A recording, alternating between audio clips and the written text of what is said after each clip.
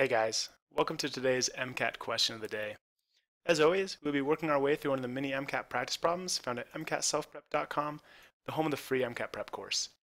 I'm Andrew George, a 99th percentile MCAT tutor, and I will be walking you through today's practice problem as if you're one of my private tutoring students. Be sure to hit pause and try this practice problem for yourself before watching my explanation.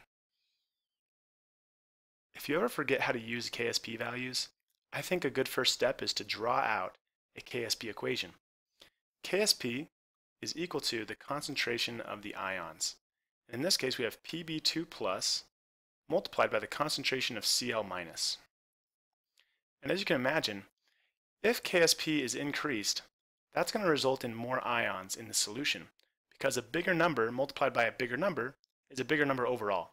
Therefore, the higher we make this KSP, the more Pb2 plus and the more Cl minus we'll have dissolved in our solution. So which of these answer choices has the higher KSP value?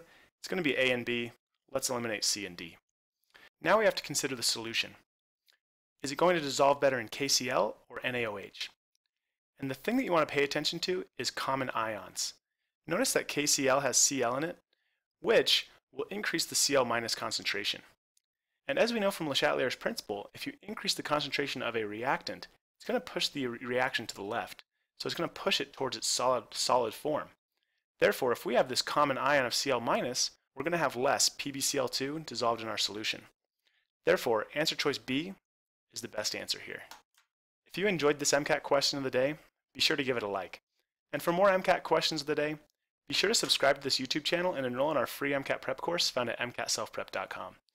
And if you are really looking to maximize your MCAT score, feel free to visit my tutoring profile page and request a free 10-minute phone consultation. I would love to chat with you about your situation and how you can maximize your MCAT score. I look forward to hearing from you soon, and we will see you next time.